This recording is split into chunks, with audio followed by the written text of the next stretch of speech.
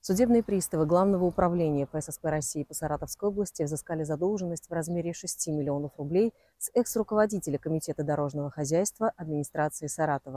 Задолженность образовалась в связи с нецелевым расходованием бюджетных денежных средств. Они были потрачены на благоустройство частного земельного участка. Администрация Саратова обратилась с соответствующим иском в суд, который удовлетворил его в полном объеме. В связи с тем, что указанная задолженность не была выплачена в установленный законом срок, Судебные приставы возбудили исполнительное производство и применили ряд мер принудительного взыскания, такие как обращение взыскания на заработную плату должника, а также запрет на перерегистрацию его транспортных средств. После этого должник выплатил указанную сумму в полном объеме.